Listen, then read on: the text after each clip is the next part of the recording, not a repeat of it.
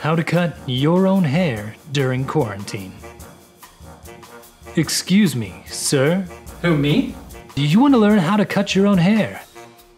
Hmm, I, I think I'm okay. Yeah, I need a haircut. Well, lucky for you, I'll teach you in 13 easy steps. Step 1 Choose your hairstyle.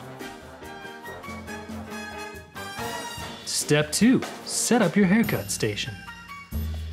Step 3 Choose scissors or clippers. Step 4 Take a deep breath. It's gonna be alright. Step 5 Cut the hair on the sides of your head with clippers. Step 6 Get one of your kids to help you with the back of your head. Step 7 Look at yourself in the mirror with horror. Step 8 Cry in the shower. Step 9 Ask your wife if it can be salvaged. Step 10 Pour yourself a stiff glass of scotch.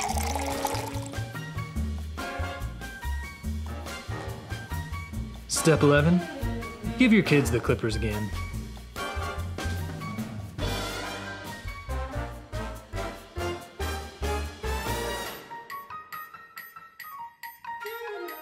Step 12 Find another celebrity photo to make you feel better.